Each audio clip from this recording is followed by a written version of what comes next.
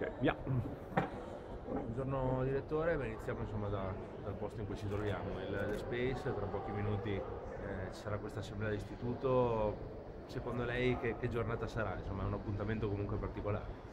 Sì, una bella iniziativa quando si coinvolgono i ragazzi, io credo che le scuole sia sempre una, cosa, una bella cosa, rivicina questa, questa squadra, questa società alla, alla gente, al mondo dello studio, al mondo della scuola, che secondo me è un, è un passaggio fondamentale anche, anche per proprio riavvicinare le persone a, al calcio che poi è, è uno sport, è un gioco, però indubbiamente ha anche una funzione sociale importante, quindi credo che sia un bellissimo appuntamento. Infatti siamo presenti in forze massicce perché riteniamo una cosa importante per, per il progetto che stiamo portando avanti con, con la società. Insomma. Ecco, magari proprio il mondo delle scuole eh, anche in futuro eh, sarà importante tra virgolette batterlo proprio perché è anche un, un possibile serbatoio di, di nuovi tifosi.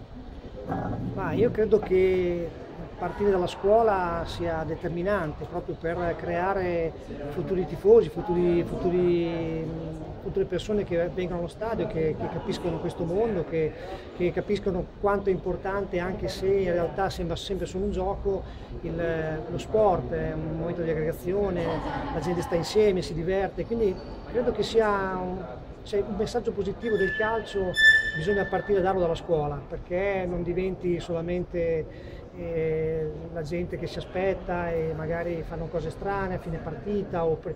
credo che dobbiamo, dobbiamo, noi per primi dare dei segnali positivi perché il calcio può essere un veicolo di aggregazione eh, importante per, per, le persone. Insomma. Veniamo invece ora alla parte un po' più legata al calcio giocato, eh, mancano appunto 3-4 partite alla, alla, matematica promozione, speriamo che appunto vada tutto bene. Eh, I giocatori, eh, ne abbiamo parlato con loro su, per quanto riguarda il futuro, ovviamente per il momento non sanno ancora nulla, quindi la domanda è ci dice la vostra lista eh, di chi resta, chi, chi è in forza, chi va?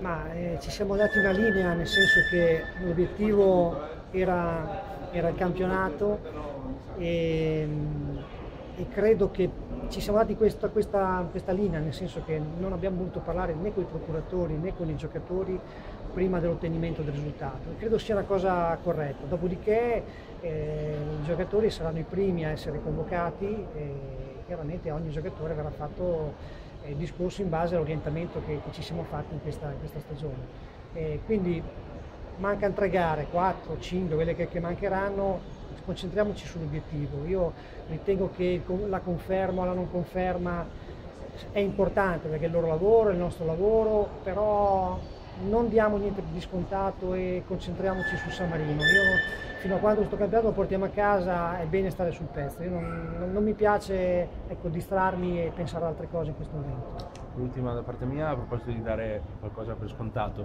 Abbiamo letto in diverse interviste eh, che eh, Guazzo parla del fatto che lui dice ho firmato un biennale, questo credo che sia una cosa impossibile anche per regolamento, però parla spesso che appunto lui è venuto qua per il prossimo anno. Da questo punto di vista ci può spiegare un attimo meglio quello che può essere l'accordo con giocatori come lui, Miglietta o comunque eh, giocatori di questo tipo? Ma eh, sono giocatori che sono scesi di categoria, noi abbiamo fatto un accordo come quello che, come quello che consente il regolamento, cioè c'è c'è un accordo che prevede un, un accordo annuale. Per quel che riguarda la posizione del discorso biennale si sono fatti dei discorsi, però chiaramente questi discorsi poi vanno rifatti a fine campionato, non c'è niente di, scritto, niente di ufficiale perché non ci può essere di ufficiale, quindi a fine campionato riparleremo e se, se i giocatori come io ritengo hanno fatto il loro dovere rimarranno a farlo, non c'è biennale insomma in questa categoria. Senta direttore, buongiorno. Al di là del fatto che bisogna stare comunque cauti per il raggiungimento dell'obiettivo, no? Qualche partita mh, di dimensione diversa la state cominciando a guardare. Che cosa, mh, cosa c'è di diverso dalla, dalla Serie D in una, in, quando si sarà di categoria? Ma indubbiamente cioè, non è che possiamo neanche stare con le mani nelle mani, diciamo, a girarci i pollici.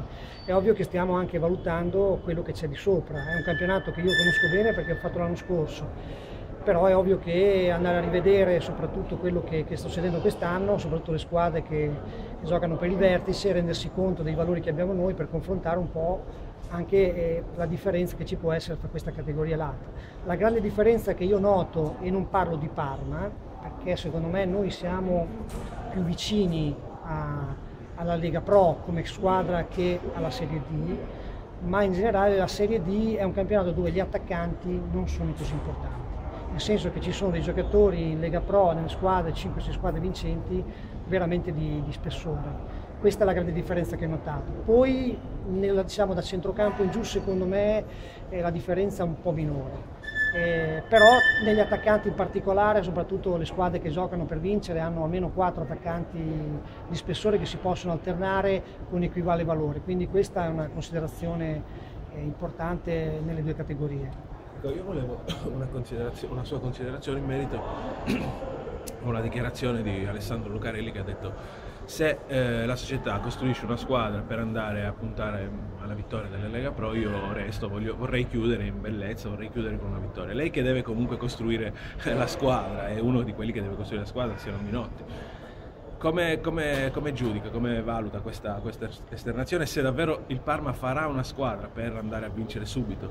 Ma io ritengo che a breve ci sarà un incontro da parte diciamo, della, delle, delle persone che hanno gestito quest'anno l'area tecnica, il mercato e con la proprietà. E, e la proprietà ci, dirà, ci, darà se saremo noi chiaramente a continuare perché bisogna anche poi partire dal, dal punto A, se saremo noi diciamo, a continuare questo, questo percorso eh, ci darà eh, diciamo, un budget, eh, budget su cui lavorare e quindi in base a quello sapremo anche che tipo di campionato potremo andare a fare e quindi noi siamo in attesa eh, chiaramente come la squadra, perché deve pensare al campionato e noi pensiamo al campionato, eh, di avere indicazioni per la nostra conferma, ma prima, come dico, stiamo concentrati su San Marino di domenica, poi vedremo il resto. Comunque la conferma, l'area tecnica deve essersela per forza guadagnata. Costruire una squadra che non ha mai perso in pochi giorni. Ma io tu dici delle cose corrette, però io credo che le decisioni è giusto che le prenda la società, cioè noi siamo, siamo dei dipendenti, e pensiamo di aver fatto bene il nostro lavoro, però questo non significa in automatico che saremo noi a guidare l'area tecnica il prossimo anno. È giusto la società faccia le sue riflessioni e poi in un primo incontro che faremo parleremo di programmi, di piani e ci metteremo un tavolino e troveremo delle soluzioni, però è giusto e corretto che sia la società a dire chi deve rimanere, non siamo noi a doverci a dire se rimaniamo o no, insomma credo che a breve avverrà questo incontro per, per, per programmare, immagino, spero con noi, la prossima stagione. Direttore, questo vale anche per il tecnico, allora per Apolloni, in questo caso, per il ragionamento che fa lei. Ma il ragionamento, allora, se andiamo in automatico, l'allenatore che vince il campionato, non sarebbe, non stiamo, stiamo parlando di niente. Come, però voglio dire, però nel caso ci sono certe dinamiche, non so, adesso faccio l'ipotesi, se domani mattina il Parma venisse acquistato da un'altra persona, porterebbe altre persone. Quindi, cioè, stiamo parlando di, di situazioni eh, che se vanno come la logica diciamo, normale eh, è, è, facile, è probabile che si continui con questa, con questa impostazione.